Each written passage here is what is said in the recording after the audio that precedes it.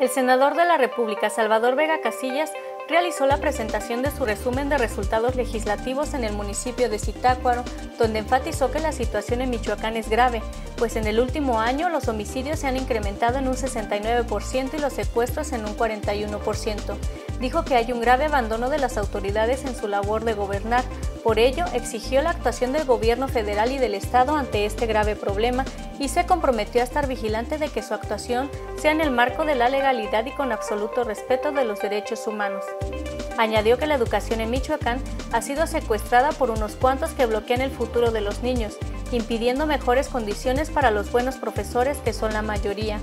Además, denunció que el gobierno estatal ha sido omiso en poner orden en el tema educativo, agravando el problema.